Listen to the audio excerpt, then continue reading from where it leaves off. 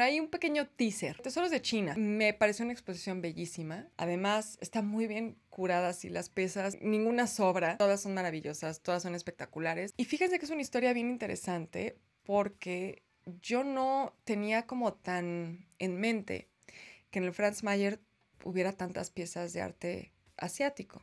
Digo, chinas en este caso, ¿no? Pero, o sea, sé que había como piezas de mucha influencia asiática, pero sobre todo, no, o sea, pues, arte nuevo hispano, ¿no? Este, donde vamos a ver la influencia china en la talavera, en los marfiles, ¿no? Estos cristos de marfil, o en las incrustaciones de concha en los muebles, en los biombos, desde luego, ¿no? Los biombos son, pues, este, una importación totalmente oriental a la Nueva España pero no tenía como, como tan presente que Franz Mayer fuera un coleccionista de arte chino, sobre todo. Y eso también tengo que decirles de nuevo a propósito de revelaciones, eh, como les comentaba en el caso del Caluz, para mí también fue muy interesante eh, ver ese lado, porque bueno, como historiadores del arte nos gusta también estudiar a los coleccionistas, ¿no? O sea, también es, es, todo un tema. Eh, y él pues es uno de los fue uno de los coleccionistas más prominentes de México. Entonces, em, pues me, llamó la atención eso. Y lo que me explicó el curador, Abraham Villavicencio, que se está viendo esto, le mandamos un abrazo, es que en realidad Franz Mayer en los años 40 y 50 sobre todo, eh, se puso muy seriamente a coleccionar arte chino y eso es un poco lo que estamos viendo aquí, que me parece muy interesante porque cuando recorríamos esto eh, y estábamos viendo que la mayoría de las piezas vienen de, de otras, eh, bueno, la mayoría de las piezas son de Franz Mayer, y las que no vienen de otras colecciones privadas. Como que decimos, qué curioso que sean colecciones privadas y como que de esa época, como que a mí siempre he tenido esta idea de que pues justo el, coleccionismo de cosas chinas era como muy de casa de Mauricio Garcés, ¿no? Como que es esa época de casa del Pedregal. Este, como que se ven las películas de, de, esa época. Entonces me, me, pareció muy interesante que aparentemente sí hubo como una corriente de coleccionismo en ese momento. Y lo que vamos a ver aquí, bueno, como, pues porque es el Franz Mayer, este es, pues obviamente, em, arte decorativa, principalmente porcelanas. Em, ah, pero hay de todo. O sea, hay porcelana y esmaltes, lacas, textiles, marfiles, huesos, este, un montón de cosas. Y em, también lo que es muy interesante es ver el, pues el rango de piezas, porque hay pues hay, piezas que tengo que decirles que solo, yo solo tengo una queja, pero ahorita voy. O sea, hay, hay piezas este, muy antiguas y, lo que es también interesante ver es cómo, cómo se va, como digamos, cuando hacemos un recorrido más cronológico al, al verlas, que es un poco la idea, ¿no? O sea, es temático, pero también es un poco cronológico, ir viendo cómo van cambiando las técnicas de acuerdo a la época. Lo que a mí me sorprende es que la pieza más antigua, para mí, se veía como la más moderna, ¿no? Entonces esto también de pronto son, son, cosas loquísimas que suceden. Pero también como el contacto con otras culturas fue incorporando mm. nuevas técnicas, como a través del contacto comercial, ¿no? Principalmente con otras culturas, em, eso implicó la incorporación de otras técnicas, de otros gustos, de otras formas de hacer las cosas.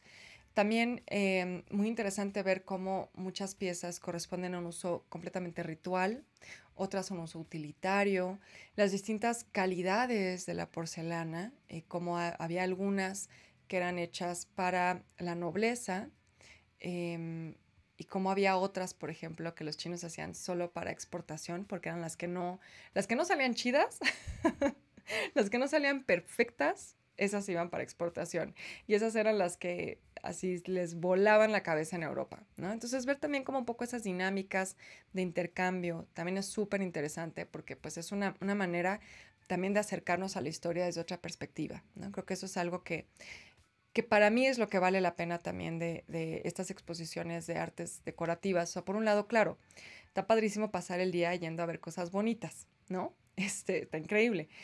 Pero em, esta otra lectura que te permite para entender el contacto, el intercambio entre distintas culturas, las redes comerciales, las rutas, em, también cuestiones políticas, ¿no? El, colonialismo también ahí presente de pronto.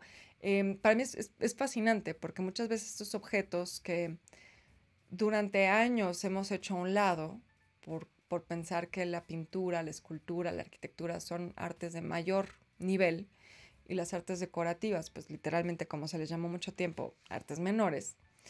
Em, realmente lo que podemos encontrar ahí cuando hay una buena curaduría, como en este caso, em, cuando hay buenas cédulas, cuando se hace todo este esfuerzo este, de investigación, además que, que, que, Abraham lo hace de una manera increíble y en el, en el Franz Mayer se lo toman muy en serio, em, es que vas descubriendo, como que vas jalando estos hilitos, ¿no? Que te hablan de, de todos estos procesos históricos que son muy interesantes de descubrir a través de las formas, de los colores, de los dibujos, de, los materiales. Es, e, eso para mí fue realmente lo, más interesante de la exposición, más allá de que pues sí, es ir a ver cosas muy bonitas y pasarla muy bien viendo cosas bonitas, que también se vale, también se vale. Este, y mi única queja es que dejaron fuera las vajillas del Sanborns. Es, eso es amigos del Franz. Yo siento que ahí hay un huequito, todavía pueden meter mi, mi, vajillita del Sanborns con la que disfrutamos ahí los molletitos. Pueden tener menú temático. Exacto. Este, ay, pueden hacer el festival. El tecolote. El festival ahí, que al Sanborns le gusta hacer sus festivales, estaría buenazo. No, o sea, fuera de broma, hasta así se los digo, porque el último núcleo de la exposición que creo que para mí fue el más interesante, precisamente por esto que les decía, de cómo refleja también como todos los procesos de intercambio que hubo eh, durante siglos y que también es, es una locura como que cuando lo ves eh, así en las piezas tan, de una manera tan tangible, porque a cada rato te hablan de globalización, ¿no? La globalización como algo reciente, como algo del siglo XX, como algo que se ha, ha explotado, sí, con las redes sociales, pero pues la verdad es que globalización ha habido siempre, ¿no? Y, y aquí, aquí se ve, como les digo, se ve de una manera muy, muy tangible. Y, y, en esa última, en la última parte de la exposición, el último núcleo, pues toca más directamente estos temas. Si bien a lo largo de la exposición ves algunas cosas em, de cómo llega la porcelana a Europa y ahí se forma un gusto y luego ese gusto modifica cosas que después llegan a China, ¿no? Entonces las técnicas y el gusto europeo también impactan en China, como que ese intercambio, ese ir y venir, es muy bonito a lo largo de la exposición.